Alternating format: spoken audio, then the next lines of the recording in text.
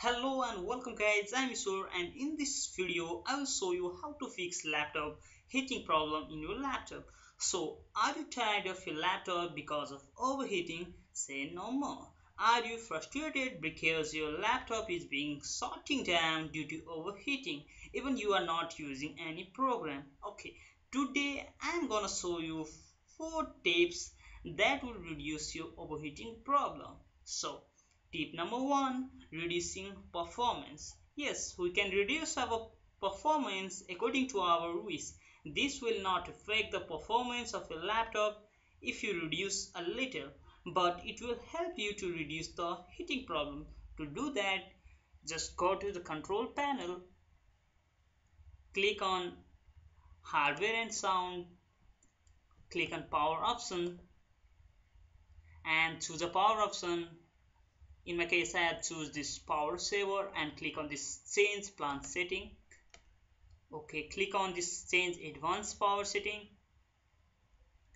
And then scroll down a little bit till this processor power management. Click on this plus icon.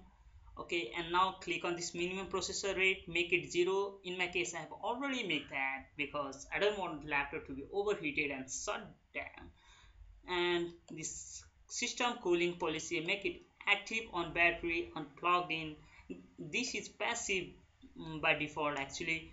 And this maximum processor rate make it 70 if you use any softwares or you can make 50 percent if you just watch videos and so uh, internet.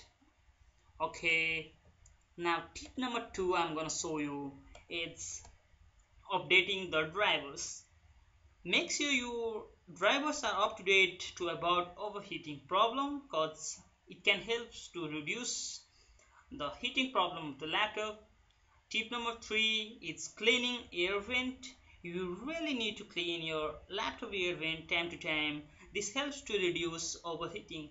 And tip number four is updating BIOS. If all the tips didn't work, then you better update your BIOS from official website.